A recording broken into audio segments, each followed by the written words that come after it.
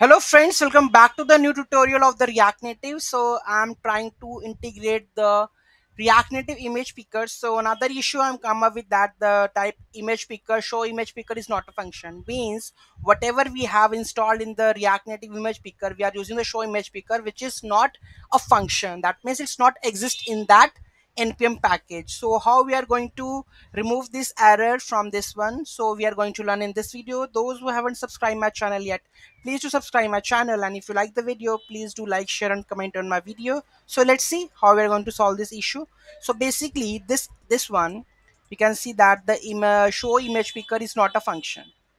Okay if i go on this one so let's check the image function image picker so the function is launch camera and the launch image library. So basically i'm not going to open the camera so i'm just opening the library only. Okay so here i'm just going to replace with the show image picker with launch library. Okay if i go and save this one and just reload this one app. Okay and here we go with pick image.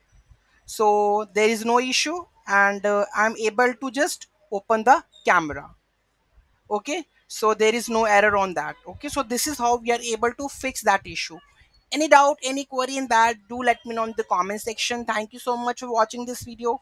Have a great day